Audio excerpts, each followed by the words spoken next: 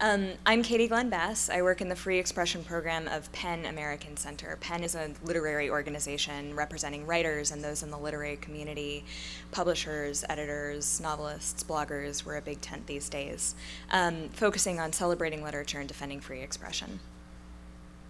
I'm Marcy Wheeler. Um, I know, I'm known as Empty Wheel. I am a journalist, um, and I also, in a, in a past life, studied literature in, of dissidents in places like Argentina and Czechoslovakia, um, mostly authors who were supported by PEN. So I'm, this is sort of an interesting transition for my life. But. Great. Um, we want to leave as much of this discussion open to talking to you as well. So I, we're going to keep our remarks pretty brief and then open it to questions and comments. Um, I'm going to start by talking about a survey that PEN did of our US membership last fall and what that told us about what surveillance is doing to freedom of expression and to our access to information more generally. Um, and then I'm going to offer a couple of other data points from other studies that have been done in the post Snowden revelations era that tell us a little more about how free expression is being affected. Um, so PEN undertook this survey last fall because we were thinking, you know, it's, it's a widely shared assumption in the privacy, human rights, and free expression communities that surveillance is harmful. Everyone sort of instinctively realizes that. But how do we know that it's harmful, and in what ways is it harmful? So to start answering that question, we decided to ask our members, um, who make up a percentage of the literary community in the United States and ask them, you know, why are you worried about this? And if you are worried about it, how is it affecting the way that you work? Um, so we have about 3,500 members in the United States. PEN is part of an international network. There are other PEN centers in lots of countries around the world. We have 144 different centers in other countries. So this survey was only of the US membership of our New York based center. Um, we're going to be expanding that survey later, and I'll talk about that in a little bit. So for this survey, um, before I get into what the results were, I do want to just talk briefly about the methodology because it has some limitations that are good to get out up front. Um, this was a survey only of PEN members, and PEN is an organization that is devoted to free expression, so it would be a natural assumption that if you're a member of PEN, you're already worried about free expression. So it's possible that writers who are not PEN members don't feel the same way about surveillance as the writers we surveyed, um, but I do think this is a pretty good chunk, uh, a pretty good picture of what writers in the United States are thinking when it comes to surveillance. The results of our survey were published in a report called Chilling Effect, which is available on our website, which is pen.org, or come see me afterwards and give me your email address and I can send it to you if you'd like. Um, and in this in this survey, uh, we asked people, first of all, are you worried about surveillance? What do you think about the justifications we're hearing for why the NSA is conducting these programs? And then if you are worried about surveillance, tell us what it's doing in terms of your work. How is it affecting the way that you write? How is it affecting the way that you talk to other people or do your research? And the results that we found were striking even to us. We weren't sure what level of concern we were going to see from people, but we found that 85% of respondents, we had 520 respondents to the survey, 85% of them said that they were overwhelmingly worried about surveillance. 73% of the respondents said they've never been as worried about privacy and press freedom issues as they are right now. We also asked them how they felt about statements like surveillance is something all governments do, there's nothing that new or worrying about this, and statements like surveillance is an essential tool for governments in the fight against terrorism.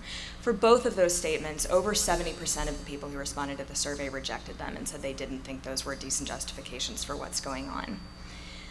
The most troubling findings of the report had to do with the way writers are changing the way they work as a result of awareness of surveillance.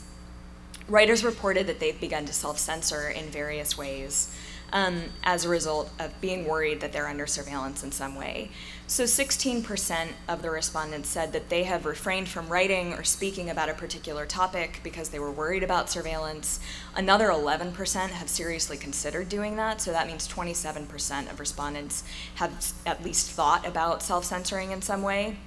28% have avoided social media activities as a result of being worried about surveillance, and another 12% have seriously considered it, so that's 40% in all. 24% of respondents are avoiding certain topics in their email or their phone conversations, and another 9% are seriously considering doing so.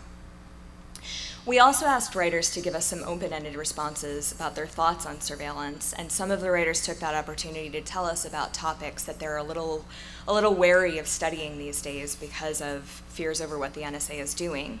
So, some of the topics that people said that they've either given up on researching or are hesitant to research include US military affairs, the Occupy Wall Street movement and other left wing political organizing, the Middle East North Africa region, mass incarceration, drug policy, pornography and other sexual topics, the study of certain languages, and criticism of the US government.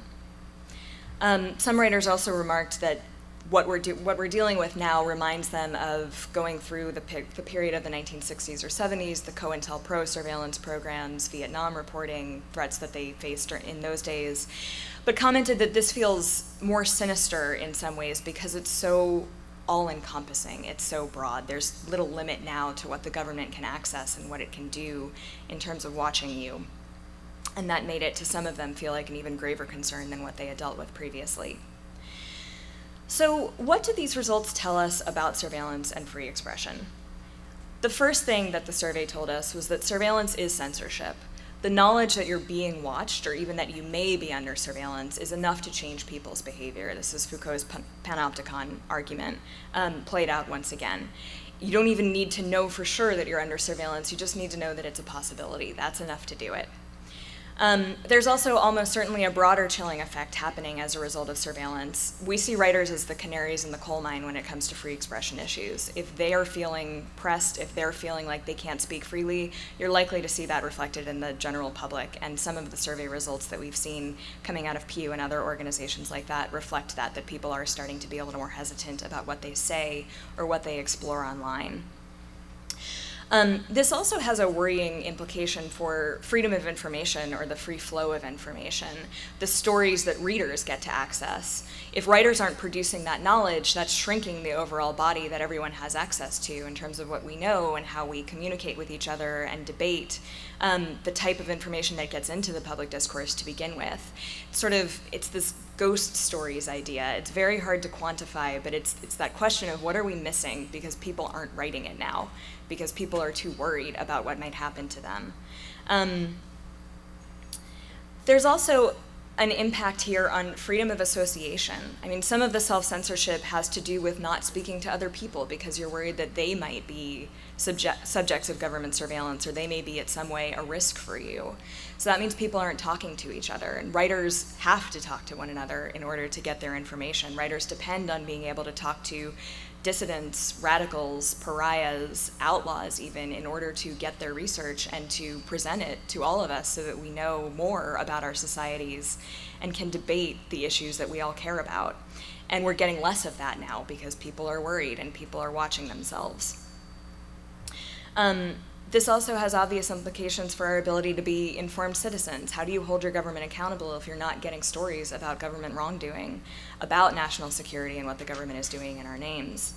Um, and on a broader, sort of harder to quantify note as well, surveillance makes us less interesting people we're less likely to just pursue curiosity and see where it takes us if we're worried that typing in a certain Google search term might get us in trouble somewhere down the line. We're less likely to explore ideas on the margins of society and try to tease out new information about those. We're becoming less curious. Um, we're sort of shrinking into a, a smaller version of ourselves and an impoverished body of information that we're presenting to other people. Um, so PEN on the basis of that survey, decided that we wanted to find out more about what this means for writers and what it means for free expression more broadly. In the coming months, we're going to be revising that survey and putting it out to our fellow PEN centers in other parts of the world. As I mentioned, there are over 100 of them in various countries, and we're going to ask them to send it out to their membership um, and find out more about how they're reacting to surveillance, both from the NSA and from what their countries are doing, since as we know, the NSA is sharing information with other governments. They're all working together on this. So that we have more data to use in terms of figuring out what exactly this is going to mean for free speech in the future. We're also interviewing writers to get a better, more detailed sense of how it's affecting individual writers and their work and craft. And we'll be presenting that in a report as well. Um, to wrap up, before I turn it over to Marcy, I just want to talk about a few other studies that I've seen that I found quite interesting in terms of what they tell us about surveillance and free speech. Um, so the first is an MIT study that came out of Google Trends data, which is all public information on various search terms and how often they're searched for. And they compared um, they took the Department of Homeland Security's social media watchword list, so words like dirty bomb or anthrax, and they compared trends for those search terms before the Snowden revelations came out and after the Snowden revelations came out. And what they found was that um, terms on that DHS list had declined in terms of frequency, search traffic frequency, by about 2.2% on average, which is a statistically significant decline. Um, so it does seem like people are hesitating to explore terms that they think might get them in trouble. They are aware that there might be eyes on them somewhere. Um, there's another report that was put out by the City University of New York's Law School by their Creating Law Enforcement Accountability and Responsibility program. They were looking specifically at the NYPD's surveillance of Muslim communities in the Northeast. As some of you may know, the NYPD was engaged in pervasive blanket surveillance of a lot of these communities. Still is. Yes, still is, on so called uh, terrorism concern grounds. The reason I find this interesting is it's not entirely online surveillance. It's also surveillance of your whole community, but it is a microcosm of mass surveillance. This was not targeted unless you consider everybody who is Muslim a target. This was a blanket surveillance program, is a blanket surveillance program of an entire community. Um, what CUNY did was to go interview people in those communities and talk to them about how the awareness that there were informants in their communities, that they were under watch all the time, how that had affected them. And what they found was really devastating. There's a serious effect on free speech. People are shying away from any sort of political topic, even just in coffee shops. If somebody brings up a political topic, everybody else is like, oh, let's not get into that. Students on college campuses are avoiding getting active in any way, any form of campus activism. More broadly, I think surveillance on campus is an underexplored area that we need more research on because it's becoming more and more frequent. There's also serious damage to religious freedom. People don't feel safe in mosques anymore. People are looking around and wondering who's there to watch them. Um, and it's, it's tearing at the fabric of the entire society. People don't know who to trust. People don't talk to each other. People are constantly looking over their shoulder. It sounds like East Germany, but it's happening in the United States, and it tells us a lot about what's going to happen as these surveillance programs become more and more pervasive. So finally, um, what I'd like to hear both from, from you and from Marcy is broader questions as well that have been on my mind. What impact this is going to have on our ability to remain anonymous and what that's going to mean for our willingness to engage politically at all um, it's becoming harder and harder to do anything without being detected if somebody really wanted to. And traditionally, a lot of political activism has at least involved some degree of anonymity or ability to conceal what you're doing um, until you're prepared to come out publicly. So, what does it mean? Are people still going to come to protests if they know that the police can track you at that protest, can keep a record of you at that protest, can cross reference it with all the other records they have of you, even if it's a completely peaceful protest? The other thing that's on my mind is the impact of freedom on the press. Um, in many ways, this is obvious, and our survey showed that our members who are journalists are particularly worried about all these issues, especially contacting sources and being able to protect their sources. Um, so I would be very interested to hear Marcy's thoughts on all of that. Um, yeah, I'm listening to Katy and realizing how screwed I am because I cover all of those things. Um, my, my trajectory as what you might call a journalist has been rather interesting because I started in 2003, 2004 um, using a soft pseudonym at a time when I was still working for a large automotive company. I was contracting to them, so I'm not on their books. But um, and I worked under a pseudonym partly because that's how I started, partly because at that point it was a way to. Uh, I mean, it, it was an interesting gender play because people assumed I was male for about the first four years that I wrote until all of a sudden they saw my face. Um, but, but, but largely because I was, I, the, the first story I got known covering was the scooter, the CIA leak investigation. Um, and although my counterpart on the right and I worked pretty closely together and kind of agreed with each other about, about a lot of what we were writing about, I was writing about a story that was designed to make Dick Cheney angry um, and did, uh, because I was one of the few people actually covering his side in the thing, his side in the story. Um, and I and I didn't want it to make it easy for from a political standpoint, people to tie me to my employer. Um, so when I, I, I, mostly worked for that employer in Asia, and the Chinese, I'm sure, were surveilling the heck out of me to get my automotive data, but they didn't care. They were probably quite happy that I was being mean to Dick Cheney in the United States. And it wasn't until, um, and I, I, ended up stop, I, I, stopped doing that consulting in 2007, partly because um, the, the last contract I had with this company was working in dealers in the United States. And I was, I was sitting with a, um, sure, very conservative service manager in Nashville, Tennessee, and looking around and going, I can't represent this company anymore. And at the same time, be this political, this, this, this recognizable voice um, engaging in these political issues. So um, but but that was a time when I still believed you could be you could be a pseudonym, and a pseudonym meant I mean it was very easy for anybody to find Marcy Wheeler equaled Empty Wheel, but it, it the pseudonym played a function for me, and I believed you could do it. We're well beyond that now, um, and and and I you know I think there, there still is a really important case to be made for pseudonymity, especially, I mean, because otherwise, most employed people in this country can't engage in free speech because you can be fired for political activism by any employer, just about.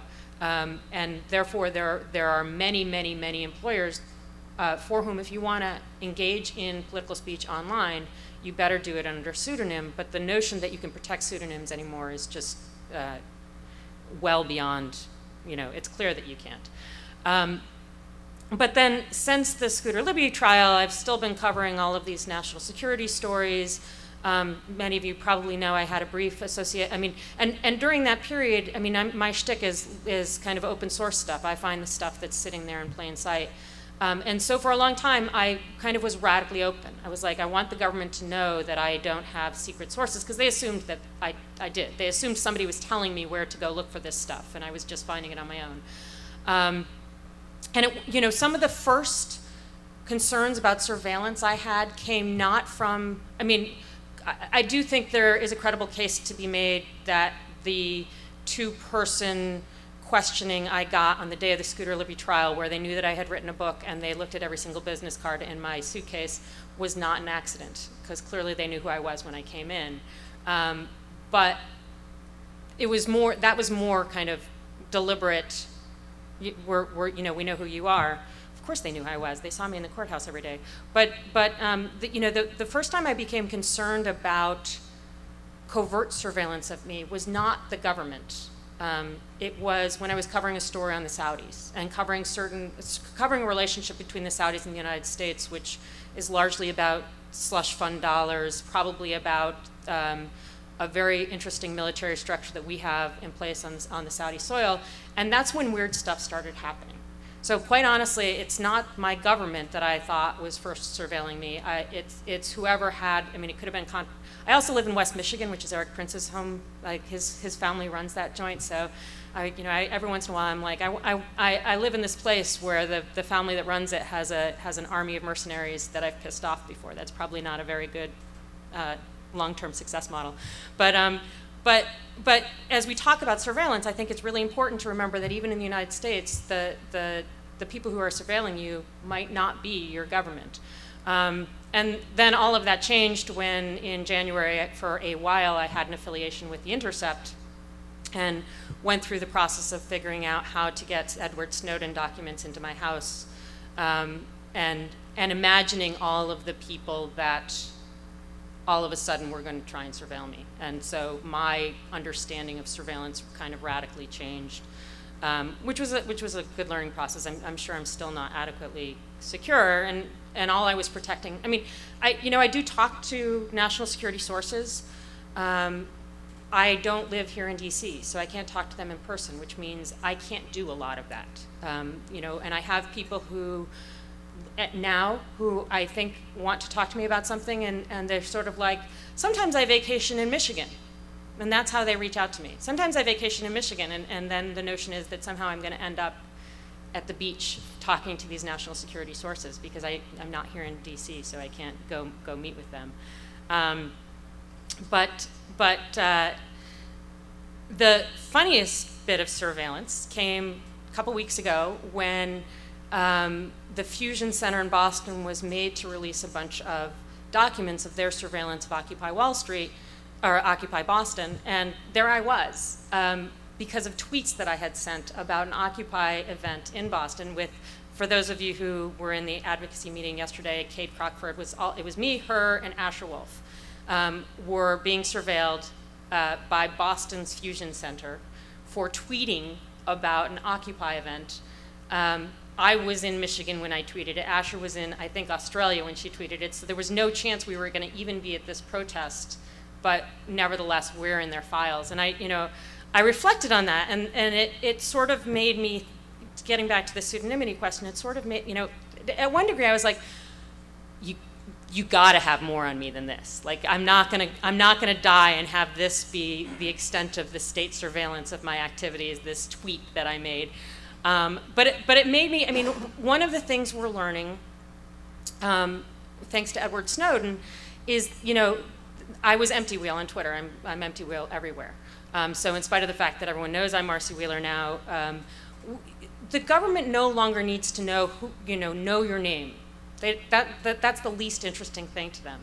Um, the, Edward Snowden, one of the best descriptions of this uh, to the EU Parliament, talked about the fingerprinting process that, that the NSA does. Um, and you know, all, those of us who've been covering this have, have kind of talked about it along the way. But he described it really well. And it's, and it's, your identity is no longer Marcy Wheeler. Your identity is your email address, emptywheel at gmail.com, emptywheel at emptywheel on Twitter, emptywheel on Facebook, your cookies, and these are, the cookies are really the most interesting part of this, um, particularly if you're Muslim, but not just if you're Muslim, certain purchases. I mean, they will track uh, pressure cooker purchases. They will track this. This is in 2009. I figured out that they were doing massive collection under the Patriot Act because there were people uh, investigated associated with the Najibullah Zazi case who had purchased beauty supplies.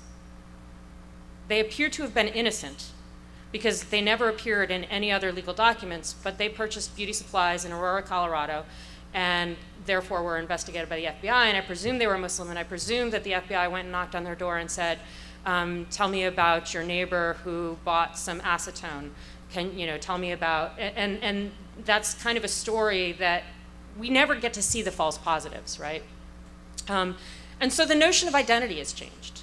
And we are no longer Marcy Wheeler, this is what I do. We are Marcy Wheeler, here are the Google searches I've made, and here are the people that they have tracked my geolocation sitting next to, and these are the people that I've called over the, over the last year. Um, I found myself recently, I'm kind of chuffed about this. I found myself recently having an email conversation with somebody who I knew was two degrees away from somebody very, very, very, very high up in the national security establishment. And I, and I, I find myself doing that now. I'm like, I, I wonder how many two degrees of separation I can have with people who immediately wouldn't be investigated. Um, because that's a way of protecting myself. Um, and, and I actually, you know, I, I kind of think that's a way to survive this.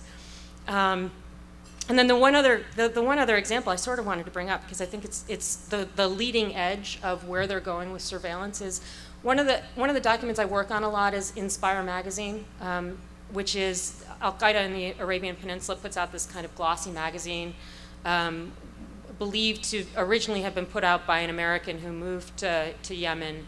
Um, so it's very sexy, although a lot of people think that the CIA actually put it out. The first edition of it was hacked um, it's, it's, it's the one that everyone talks about that gave you a recipe for how to build a bomb in your, mom's, your mother's kitchen. Um, it also allegedly and probably falsely was claimed to be the source of the marathon bombers recipe for their pressure cooker bomb. There, that there was a pressure cooker bomb. But the, but the magazine is important and interesting for a bunch of other reasons because um, it is interesting ideologically. It is interesting from a document production standpoint. I mean, how are they doing it? Where are they doing it? I've investigated it partly because there was a um, Vietnamese Brit who the Brits, he's still in secret detention, and I'm allowed to speak about him here, but people in the UK are not legally allowed to speak about him.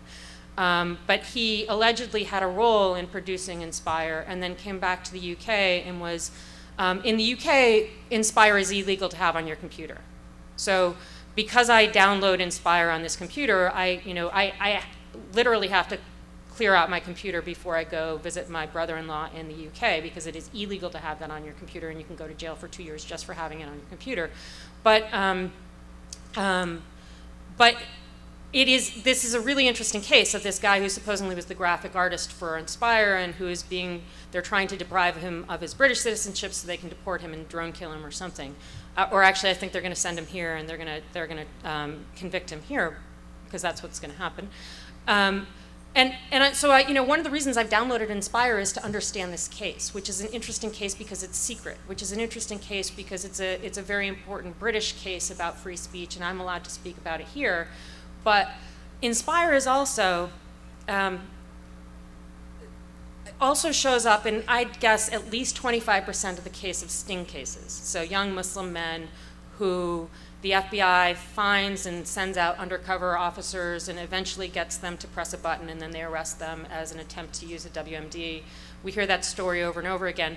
But, but Inspire seems to be one of the first tip-offs that the FBI is using to find these men.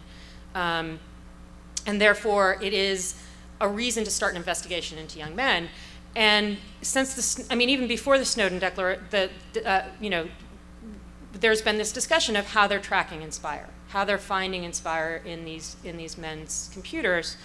Um, I believe that they actually knew of Tamerlan Tsarnaev partly through this before, I mean, the, the IG investigation into the marathon bombing attack said that the NSA actually had stuff in their possession.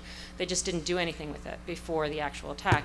But, um, but, but, I, but I, my theory on how they're doing it is they're doing it in the upstream collection, which is the Section 702 collection off of the um, off of the switches, off the telecom switches, and they're packet sniffing all of that. And they're, when the government speaks about it, they say we are searching for things such as uh, phone numbers and email in the content of email addresses in the content of email.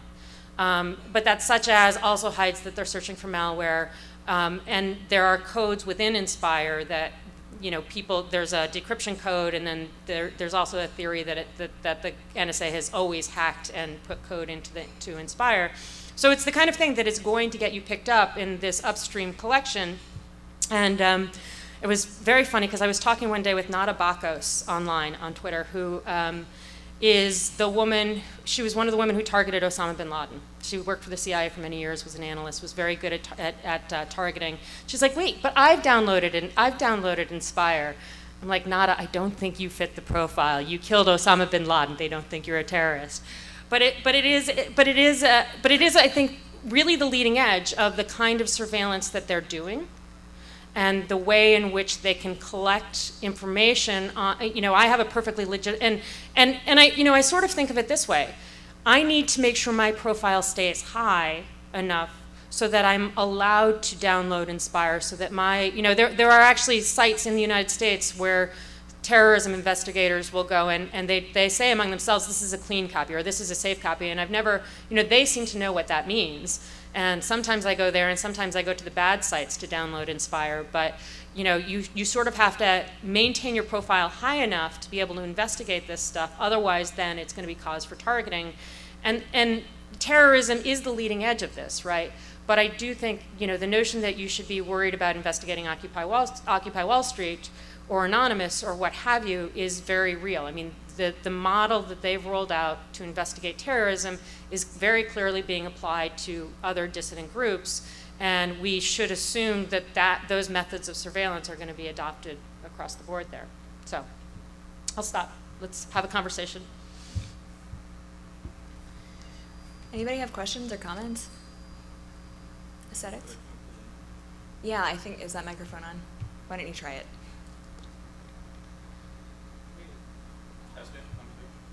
No, it's not.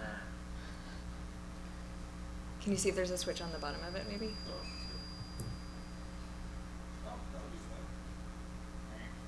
There you go. There you go. Okay. Uh, yeah, so the thing that occurred to me as you guys were discussing all of this is basically I, I, suspect that one of the reasons, uh, for example, reporters might not be willing to report on this kind of stuff is because they might lose their jobs, which is effectively loss of finances, which is loss of sustenance, you know, house and home and such. And it occurred to me that at least, I, I don't know the Constitution super well, but I think there's an amendment that says that Congress cannot change Obama's salary. And I was curious if there's some way that you could use that as a leverage tool, or basically say how to defund not just the NSA, but people within the NSA, Mm-hmm. because they don't seem to care because what's going to happen to them, and it seems like using financial leverage against them could be useful. Well, but the other thing is that, you know, that the, the leverage, that, I mean, we didn't talk about this, but one of the most important things going on in the issue of free, expre- uh, free expression is that people with clearance, and not just people with clearance, they, in the under the Obama administration, they've rolled out um, sensitive uh, positions, which are people who stock Gatorade on military bases at the at the you know this the whatever it's called, the commissary. Um, those positions are now defined as sensitive, and they no longer have merit protection. So they you can be fired for no reason, even if all you're doing is stocking Gatorade at the commissary. But obviously, people with clearance they have rolled out a whole new series. I mean, Clapper very recently said you can't have any conversation with the media that's not pre cleared about something that is your job, whether or not it's classified. And that applies both to people who are still working for the government and people who used to work for the government. And even at the level I work, and people who I used to be able to have conversations on the phone with, they're like, I can't talk to you now. I, I don't even want to accept your call now because they are tracking these kinds of things. I also have a family member who's involved in the, you know, in the, the national security industry, and, and I repeatedly tell him, don't talk to me, you know, like don't stop calling me. And it, and it, that's sort of nuts because, you know, he's sort of, he doesn't live in DC, so he's a little bit incautious about it. And he's like, oh, they're not, they're not watching you. I'm like, no, they, they really are, trust me. And, and, and so, like, there's this perverse other side of it, which is that the people who work for the government, some of whom are perfectly honorable people and some of whom aren't, um, I mean, ba basically, what the government has done for security holders, for, for clearance holders, is set up an, an, a completely arbitrary system by which they can be fired for any reason, um, and also rolled out protections on commu basic communications um, that that I think makes them very paranoid, and even at a basic level of having, let's have like a, a, middle level person who's the person who actually knows how to do things rather than the, the boss who gets reported to. Let's have them talk to the press every once in a while. That's not allowed anymore. I mean, even just on a basis, basic, like, it's not classified, it's something that we should know about. Those people should be allowed to speak to the press because they're the actual smart people, and that's not allowed anymore. So, so our understanding of what the government is doing is really collapsing, and it's going at both sides. That they're that they're surveilling the journalists, um, and oh, by the way, all of the protections they're talking about doesn't address the fact that still, according to the FBI, they can use national security letters to get journalists' contacts. Um, so all the discussion about whether or not you can subpoena a journalist is meaningless if they've already gotten an, an NSL to get your phone records. Um, but also at the government side, they're also surveilling the people who might be sources even more aggressively, and I think really in an ugly way, a really unhealthy way.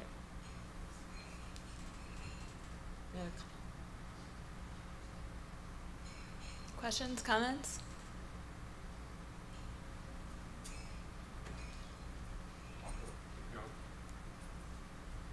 Good morning. I'm Jeffrey Ritter. Uh, first, thank you for your courage in doing the reporting. That's terrific work, and I'm very pleased to see you and know you and do what see what you do. Um, I think that your opening comments though provoked me to, to see an issue that I wanted to raise for both of you to consider. Um, and you said no one knows who to trust, and clearly, what I think your report provided in your brief remarks is we can't trust our own computer. We can't trust mm -hmm. the information there, mm -hmm. and so, you know, surveillance, ubiquity, everyone's talking about it, but how can we reverse the trend? How can we build that trust at a national policy level, at the community club level, where I can make a comment regarding pressure cookers that I use for my rice uh, and not feel that I'm going to be reported? To me, that seems to be kind of the grand challenge that this is presenting, is that we've built this net without building trust into its architecture. And we can be very upset, and I can share you know, your anger, your frustration, concerns, insecurities, but at the end of the day, at my age, uh, which is a little bit more experienced than yours uh, in life, I, I want to find a path forward, mm -hmm. right? And it seems to me we have to find a way to build trust so that I can go to a synagogue, so that I can go to a mosque, so that I can cheer for a particular football team and not feel like someone's going to be associating me with that fact. Yeah, I always joke with people like, well, you're white, so you're probably fine talking about pressure, pressure cookers.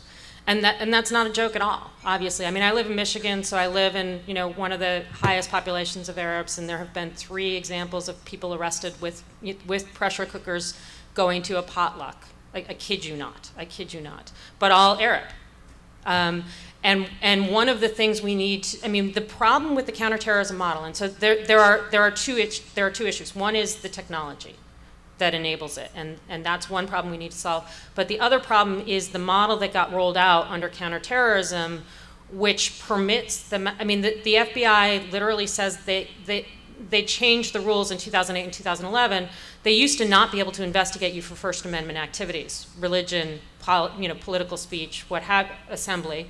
Um, and they changed the rules and they now say that they can investigate you if that's not the only reason. So it could be, um, and the phone dragnet stuff, that's all supposed to have a First Amendment protection as well, but uh, they don't believe association is protected under that. If you look at the cases and the way that they're arguing that, they, they sort of get around association being protected under the First Amendment. So so long as you're not, they're, they're not investigating your, your phone dragnet records because you are Muslim, then they feel like it's okay, even though it's associational. So one of the things we need to do is push back against the counterterrorism model.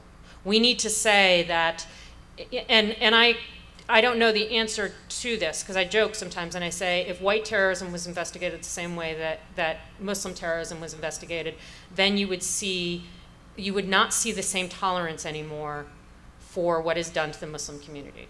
And I think that's true. I think when you see the language of people like Rand Paul, who actually cares about people who have been alleged to be white terrorists, that's his motivation. A lot of the, a lot of the Tea Partiers are motivated to protect ugly speech on the right, white person's ugly speech on the right. And, and, and I, I, sometimes I think that's a horrible thing, and sometimes I think that's a good thing. But I think that what has happened is that it's too easy. I mean, this Edward Snowden thing, I can't tell you how many number of anti-war liberals have said, oh, it's not like COINTELPRO.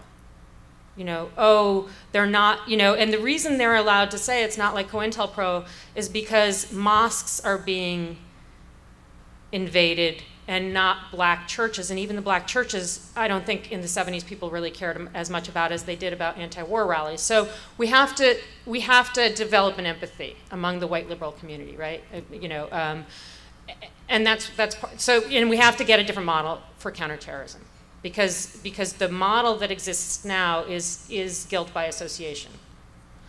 Um, and and we need to break through that. And I think we need to break through that by you know, partly it happens in the courts. Partly it happens that, you know, we, we need to win some of these borderline terrorism cases. There, the, um, there, the NATO 3 in Chicago, which were white terrorists um, protesting NATO, they were charged as terrorists. They were found guilty, but ultimately the terrorism designation was not used against them. It was a state level terrorism case. And that's an example where when white people get charged as terrorists, we begin to get uncomfortable with the notion of with that with the way we've defined terrorism in this country. Um, and and I think that's important. That needs to happen and that needs to happen on Muslim quote unquote terrorism because a lot of the cases that are being I mean I don't know how many of you know Tarek Mehanna that that case. It's a it's a um, it's a case of a Boston man Boston area man who um, he was convicted in part, in large part, for translating hateful speech, but for translating YouTube videos. And the logic was that he was materially supporting Al Qaeda, not because he had any connection with Al Qaeda, but because he was doing something that benefited Al Qaeda. In that case, he was convicted, he appealed to the, to the First Circuit, and the First Circuit upheld that. And that is one of the most, that is the kind of leading edge of where they're going to criminalize speech. And that those cases are the ones that we need to draw attention to and fight back against because it's intolerable that some, I mean, hateful speech is protected in this country, but not for Muslims. I mean, literally, that's where we're at right now. And if it's not, you know, it's that, that old adage if, if Muslims can't engage in what is considered unhealthy speech, then none of us will be in 10 years. So. Um, I'd agree with everything that Marcy said. I would add just a few things to that in terms of. Um, I mean, this is really the opposite of building trust on computers. But uh, as someone who comes at this not from a journalist perspective, but from a human rights perspective, I would say that one thing I've observed in my own work over the last few years and in a lot of human rights organizations. Um, I used to work in Zimbabwe for a human rights lawyers group there, and I also did a lot of um, investigation of human rights violations in the Occupy Wall Street movement in New York. And in both cases, the answer we came up with, as unhelpful as it is in some ways, is to keep it off your computer as much as you can. I mean, we, we went really old school, which was in a lot of ways um, more time consuming than it otherwise would have been. But the only solution we could have come up with at that time was keep it all on paper or keep it in your head and try to keep things mixed up so that if somebody gets hold of your papers, it's harder for them to put together names and notes and things like that. For the Occupy report that I worked on, um, we were doing it in a context where we knew that.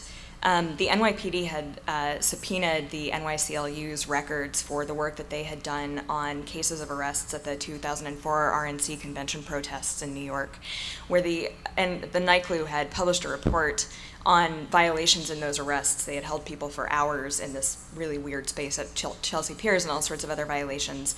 And the, uh, the NYPD argued that they needed to see the records of that human rights report in order to help with ongoing prosecutions of some of the people who had been involved in those protests, which let us know that in order to write this report without getting a lot of people in trouble, we needed a very clear informed consent process for anybody we were going to be talking to, and we needed to figure out how to make it as hard as possible if they did subpoena us, if we fought and lost in, in terms of challenging the subpoena, how to keep things as hard and confusing for them as possible, which meant we ended up setting up all of these sort of barriers in our own way, keeping our notes separate. People's names were assigned numbers, and then that went through a couple of different coding areas, and then that was kept at a separate institution.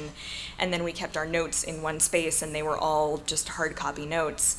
Um, that's the sort of stuff that human rights groups are resorting to these days in terms of trying to keep stuff protected and trying to keep people out of trouble. It's not the way I would like it to be. I would very much like to have tools that would allow me to use technology in terms of the work, but it's something we're thinking about at PEN too because we communicate with dissidents in other countries, um, and we do a lot of that online, and it's becoming increasingly difficult to do that at all without worrying that we are putting people at risk. So we are constantly trying to think of new ways to either keep our trust going with them online or realize we can't do that anymore and we need to find another way to do it. I think one of the interesting, the most interesting areas where this is this is going to evolve quickly, I think, is is among attorneys because we know in, in the counterterrorism world there are about five cases that we can point to where um, attorneys clearly were spied on, and this goes back to um, Azazi, uh, accomplice. The, the, the government believes they can spy on your communications with attorneys so long as you're not indicted. Okay, so in the Zazi case, one of his accomplices in New York, they didn't indict him for about nine months, and um, during that entire period, they were surveilling his conversations with his attorney. And his attorney recently, um, about six months ago, came out and said, "Well, you know, then they just delivered all of our conversations as part of discovery to me one day." There's a case in in Portland being litigated right now, where, and again, a counterterrorism case where um, the the government very sloppily was surveilling conversations with an attorney. But it's not just counterterrorism attorneys that are being surveilled. It is also business attorneys. I mean, the, the Snowden case is one where it was a, a law firm representing the government of Indonesia in a trade case. Um, and they believe they can they believe they can surveil anything for trade, and and the NSA is very squirrely about what they do with client attorney-client conversations, although it's clear that their minimization procedures permit them to surveil people so long as um, so long as there's not an indictment involved. And the reason I think that this is the leading edge is one, because attorneys have the money to pay for good encryption and I mean, I think you're going to start seeing attorneys use tails. I think you're going to see attorneys begin to embrace, I, I really hope so, because there's no way they can ethically I mean, that's the thing, is attorneys have a legally recognized privilege. And the government is, a, is violating it through technology. And so I think the attorneys A, because they're attorneys, are going to push back at that because they're attorneys, but also B, are going to start embracing the technology in a way that, that may change the conversation because, you know, I mean, it, unfortunately, the, the, you know, when the ACLU represented Anwar al-Awlaki's family before they often, before they drone killed him, the ACLU had to go to the government and get permission to represent the family first because that was, it is now considered material support for terrorism if you provide legal support to somebody who's considered a terrorist. And they were just representing the father, not, not al-Awlaki himself. But, um, you know, th there's, again, there's this notion that uh, accused terrorists should not have lawyers or that th they should not have protected conversations. And there are some ways that the government has, has corrupted that process. Um, but but that's chipping away at other attorney-client relationships as well. And again, those are protected. The, the, the, court recognized that those is protected and doesn't, doesn't use the same ridiculous notion that the NSA does, which is that they're only protected if somebody's been indicted. So, I saw some hands up over here. Yeah. I wanted to ask uh, both of you if you could speak about how uh, you encountered challenges in using uh, open government uh, you know, laws to kind of investigate what's going on in terms of surveillance. I know that you work a lot with, you know, open government data, and I was hoping you could speak to kind of the record on, you know, FOIA when it comes to. You mean that FOIA doesn't work? yeah, yeah. Um, I mean, the thing about FOIA is FOIA only works if you're going to sue the government. Right. And so, for somebody like me, um, you know, there there is a case that I'm that I am trying to sue the government, and I'm, I, am hopefully in the next week or so, I'm going to talk to a lawyer about suing the government to get a footnote that describes how the NSA and the government currently defines uh, selection term, which is the most critical aspect of the quote unquote reform bill before Congress. Um, it's classified. It's a footnote in the existing phone dragnet orders and therefore, we know it's an understanding between the FISA court and the government about how they define this term, and it's completely redacted. Um, and they're already, you know, seven days overdue on their response to me on FOIA. So that's the thing is you have to sue them, um, and it still is going to take years and years and years, and they still, you know, will go through. It's it's not working very well, right? Um, and I I think more people need to be saying one of the reasons why what Edward Snowden did needs to be defended is because you guys don't do even good faith response on FOIA. Like if you can't, if you can't, you know, and the, and the arguments they're making these days, I mean, like the, the New York Times ACLU case for this drone FOIA, which is the basis for the government killing an American citizen with no due process. Um, you know, they, they say, we're not going to appeal this. This is, you know, they, the circuit court has said you have to release this.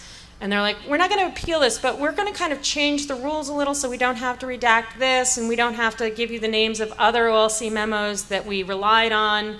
Um, and it, you know, it's absurd. So at some point, somebody's going to leak that, and and tough for them, you know.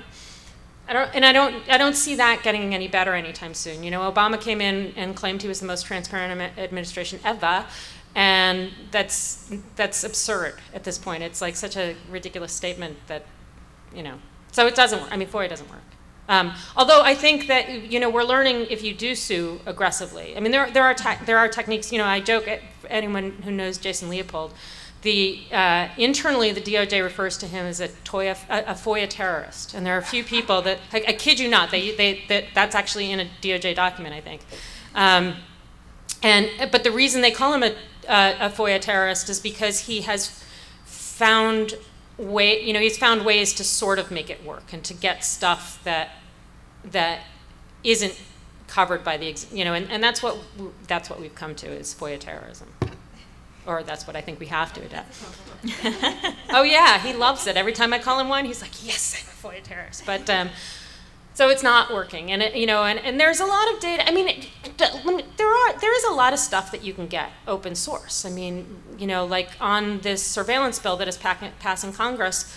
Um, there was a debate about whether or not it would change ex existing programs, and then Mike Rogers came out with a, you know, to some degree there are things that have to be public. And so Mike Rogers, the chair of the House Intelligence Committee, who's not a nice person, came out and wrote a bill report and he said, this doesn't change any program except the phone dragnet. And not only, I mean, that's the legislative record, so that's how the courts are going to interpret it. So it doesn't matter whether the letter of the law would have changed the other programs. Once he said that, then, you know, the government basically would always be able to point to that and say, this doesn't change any other program except the phone dragnet. And so, you know, as soon as he had that, and I, it was public, and I'm like, look, you know, we can argue about what this bill does, but Mike Rogers just put it in the legislative record that it doesn't change everything, and then some more people were like, oh, oh, that maybe maybe you're right, you know. So, you know, it, it's it's partly where you look for where you look. It, a lot of documents don't get read, but have very interesting information in them. I think. Yeah. Um, I've had pretty much the same experience. It, it sometimes works if you sue, but it takes forever. And I think for for the type of work I've done, again going back to the Occupy report, we we put in FOIA requests, but for reports like that, they need to be timely in order to be useful at all. And by the time we would have gotten anything out of the NYPD, and this is just crowd control documents, we just wanted to know what their policies were on crowd control at protests. And we couldn't even get that out of them. Um, and we didn't want to hold the report until we had that stuff. So by the time you get the documents, sometimes for some of the projects that I work on, they're just, I mean, they're helpful in that it's nice to know, but you've already done the work and the press push and like everything you can get out of the advocacy strategy. So it's just it's it's frustrating. Anything else? Last comments? We have a couple more minutes. Yes. Uh, sorry. I, am Mike Godwin. Uh, it, it, with, with one thing that has worked in, in some contexts uh, for me as a, as a policy advocate who does uh, who also does media campaigns from time to time is to uh, assert something that they that, that that the government agency must respond to, uh, even if only to deny it. Uh, if they deny it, then at least they're on the record of denying something is true, so that when the FOIA results come in, mm -hmm. you, you, you, you have actually put them in a position of having lied on the record. Uh, that's not always useful, but it's uh, sometimes quite useful. I actually uh, have come to believe over time, much as I uh, love uh, FOIA litigation, that, uh, that public campaigns and media campaigns, especially if they're really uh, mean, mean and mean-spirited and unfair, uh, can be very effective. Thank you. I, I agree with that, but I think even, I mean, the Obama administration has gotten so, I mean, so in the um, Amnesty v. Clapper case, which was the ACLU challenge to the Section 702 program, uh, which was which which was decided in 2013 before Edward Snowden started leaking everything. Don Verrilli got up before SCOTUS and repeatedly said, "We give notice to defendants." Over and over again, we give notice to defendants, and they can challenge, and they're the ones who are going to have standing to challenge this program. And those of us who know Section 702 are all looking at each other, going, what? Like no one has ever gotten notice before. And the ACLU and a number of other people are trying to get DOJ to at least inform SCOTUS that they got lied to, that that's not true, that that decision was based on false information. And DOJ refuses to do that. DOJ has thus far refused to correct the record with the Supreme Court on a decision that was the basis for them not giving uh, ACLU's clients standing. So, I mean, that's a case where they're getting, or the other, the other thing I love is, uh, James Cole, in testimony on Thursday, said, you know, everyone's like, well, how, how can we trust this selection term? And James Cole was like, oh, don't worry, the legislative record proves that it's not supposed to be uh, bulk collection and everything. And, and, I, and I was like, 24 hours ago, your lawyers, James Cole, were in Chicago arguing that no one should ever get review of FISA records, in spite of the fact that the legislative record clearly says we want some defendants to get review. And your argument is no one ever has, so they shouldn't. You know, I was like, 24 hours ago, you said the legislative record doesn't matter. And yet here you are before, this, before the Senate intelligence community saying the legislative record will protect everyone's privacy in FISA. So I, you know, I just think they're getting so arrogant that, I mean, I agree that embarrassment is a really useful tool. It's getting harder to embarrass these people.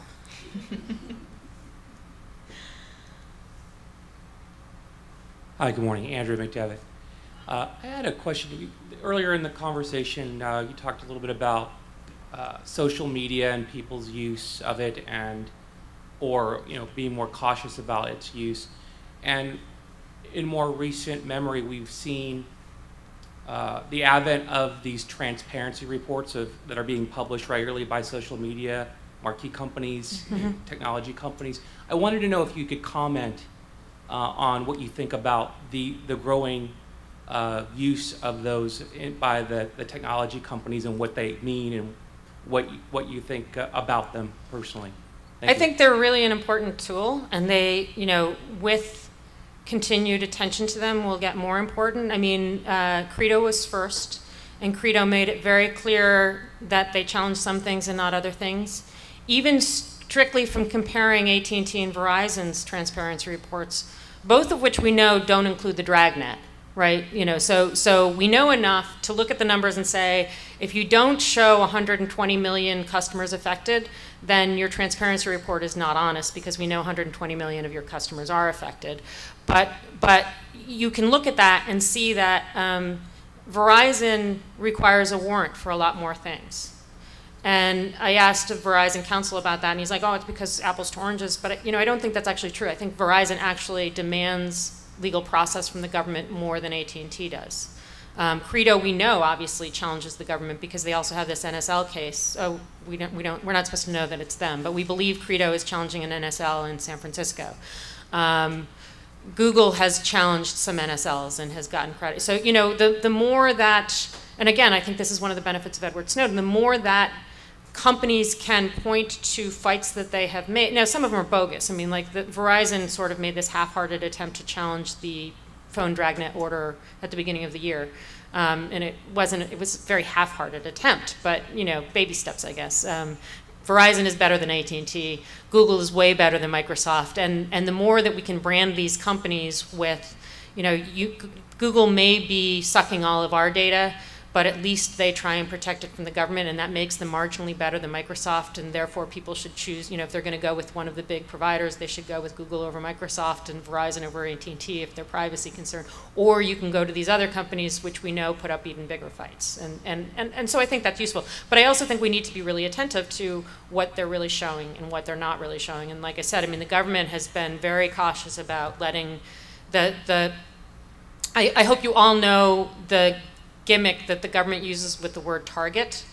Um, because in all of these surveillance programs, they say, well, we don't target Americans, and that means, but they, they you know, they'll, they'll target Anwar al-Awlaki and then collect all of the conversations with, he, with he's had ever in the world, and including all those Americans who talked to him or sent him plaintive messages wanting to be, you know, wanting to help, wanting him to help marry them. Um, but, but, but those Americans aren't targeted and so they wouldn't be counted in the government's surveillance numbers.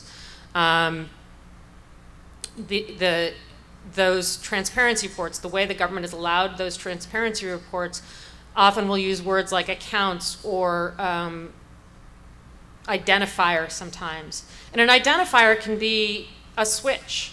I mean, we know that the government um, in, in 2007 one of the gimmicks that they used was they said we want to collect information. You know, we're going to we're going to define this switch in Virginia, and packet sniff everything coming through the switch. And whereas we used to have to define a phone number as what we were wiretapping, now we're going to define the switch as the, as the facility, right? And all of a sudden, you know, millions of people were affected, but it counted as one FISA warrant. Um, and so there's always, like, we just, I mean, there is a panel on it today, I think, which will, I think, be a really interesting conversation. But we just need to be really, we know enough to know when they're lying to us, and we need to be insistent that they are lying to us um, because they are. I think we're about out of time. Um, thanks, everyone.